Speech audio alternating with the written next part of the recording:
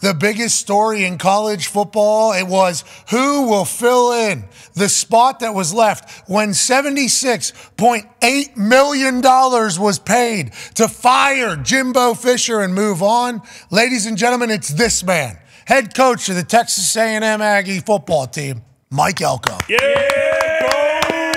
Thanks, Pat. Appreciate you. Still got still got the hype man going in my corner. I appreciate that from you always. Well, to be clear, when I started hyping you up there, I didn't know if you were on the Zoom call or if we were connected or not. So as I was, no, I was on. You're on. I was on. Like I was in the corner getting ready to come out into the ring. Um, you had me going. Okay. Well, first of all, uh, what I didn't say in there and I think we would all like to. Congratulations, man. Here you go, coach. Congratulations, Congrats, coach. I uh, appreciate you. Now, Real, really exciting time for me. Exciting time for my family. Obviously, this is this is a dream opportunity that we've been hoping for for a long time, and so um, you know, so excited to be here and be part of this thing. Okay, so you were there a few years ago, obviously as defense coordinator. You leave to go be the head coach at Duke. What you do at Duke is phenomenal from a football standpoint. Game day was down there, we were down there. Your players loved you, your team loved you. Now, in the world that we're in right now, getting to a place like Texas A&M, we all just saw the seventy-six point eight million dollar buyout. It's like you're going to have an opportunity now to kind of, you know, recruit and do things that maybe you weren't able to do at Duke. No offense to Duke, but like now you're getting an opportunity to really go. Right? Is that what's uh, kind of drew you to Texas A&M? And how do you feel now about what the next steps are to kind of get the team back on track? Yeah, for sure. I think obviously this is a place that is resourced and supported at a level that you can win it all, right? And, and as a coach, that's what you want. You want to you want to be supported by a fan base and, and resourced in a way that you can go out there and you can win the whole the whole thing. And we certainly can do that. And then, um, you know, what's next? What's next is everything. You know, we got to put a staff together. We got to start building relationships with the current class that's committed. We got to build relationships with the guys in this building, um, and we got to go to work. And, and we've got to become what this program is capable of becoming. You know, it's it's certainly uh, been well documented how much this place has to offer. Uh, we've got to make all of that a reality. Hell yeah! Go ahead, AJ. Coach, where are you at in the, the process of building your staff? That's something that not as many casual fans, I think, talk about. You got to come in and, and find the right staff and who you want to hire, who do you want there. How difficult is that, and how long do you think that'll take?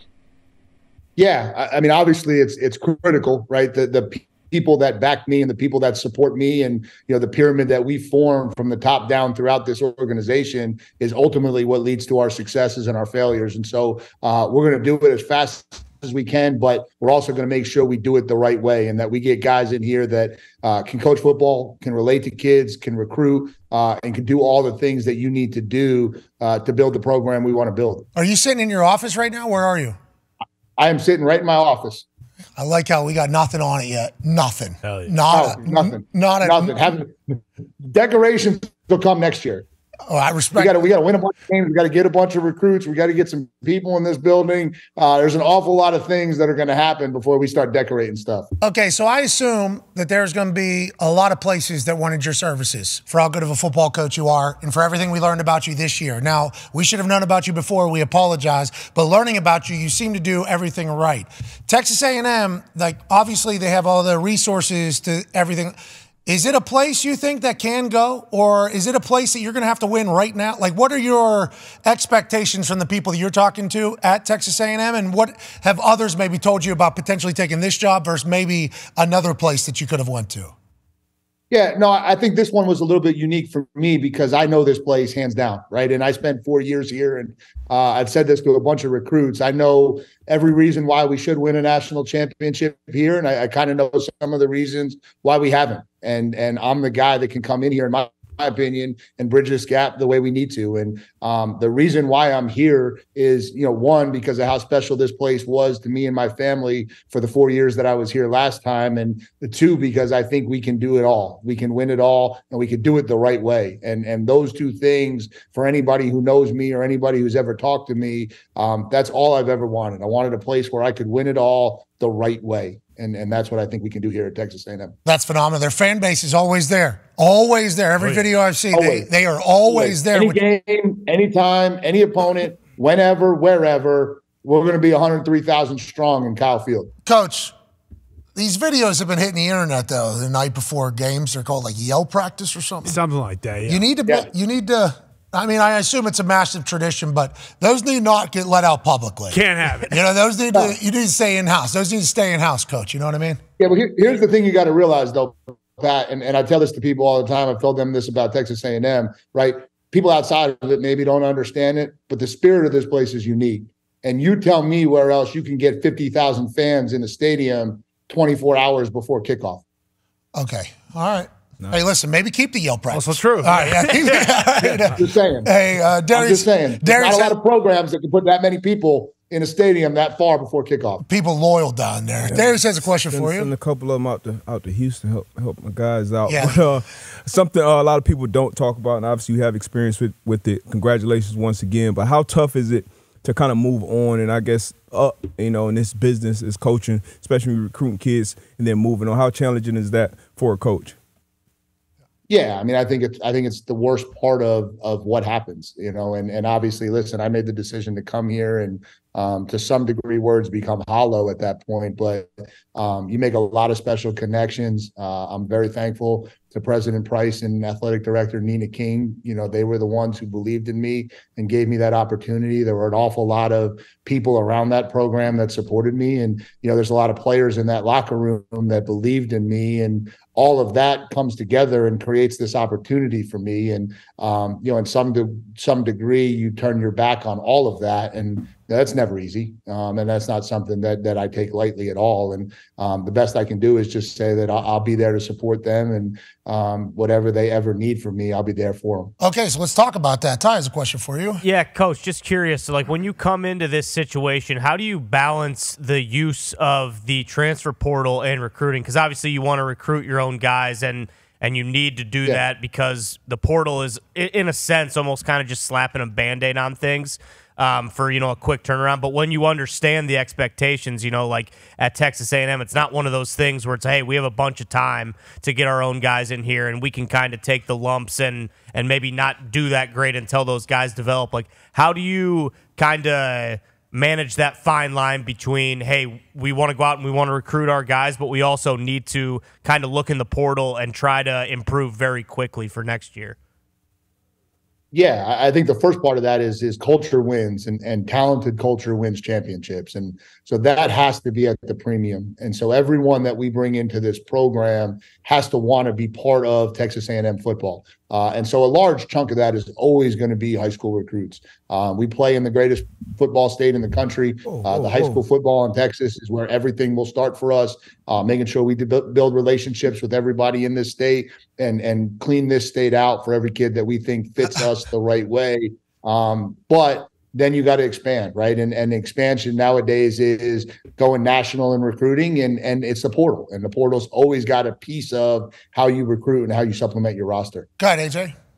Coach, I would imagine your time that you've already spent there on campus, you already have great relationships with a lot of the big time high school coaches in Texas. How big of a part is that? Like, how easy did it make it to come back there knowing you already have these relationships in place? And like you said, you want to clean Texas out of all the talent that would fit your program. Yeah, I, I, think it's it's just knowing that people are going to support you and believe in you, right? Anytime you go to a place where you've established relationships, you've done things the right way. People always gone. They're throttled uh, when you can go back into that environment, you know those people are going to support you every way they can, and um, you know that in and of itself creates a comfort level that makes this feel like it could happen really fast for us. What was the interview process like? You know, how, did you have to lay out like your recruiting pitch to people you know in Texas? Was it they wanted you, they were pitching you bad to come back? What was the whole kind of give and take to get you to this point?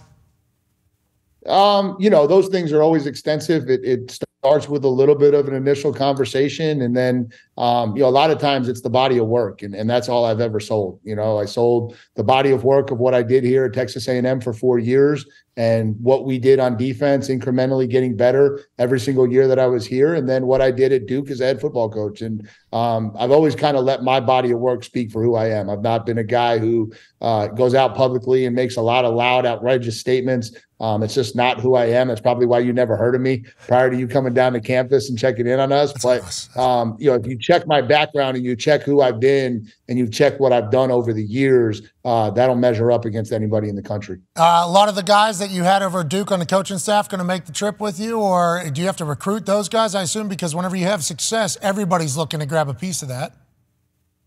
Yeah, no doubt. And, and, listen, you try to be as loyal as you can to the people who helped get you here. Um, there's there's uh, quite a few guys that will fit. Um, you know, and then there's other guys. You know, the hard part about when you do this, people don't realize is, you know, there's there's a whole bunch of people you have relationships with in coaching, uh, and either cross paths with them and respect them, or uh, have worked with them, or spent time with them, and uh, you got this huge pot of guys. And what I have to do is I just got to put together the right puzzle for Texas A&M at this time. And uh, again, we're going to take our time and do that the right way. How happy are you to be back in the SEC? Get a chance to chat with Finebaum today, huh? That's a dream come true, huh? We're back in the SEC.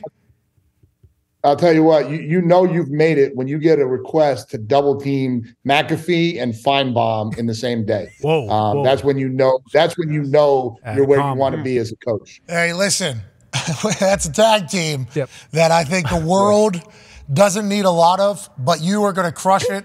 Obviously, on that show as you did this one, we can't wait to see what you do down there, man. You're a good ball coach and a good dude. We're proud of you.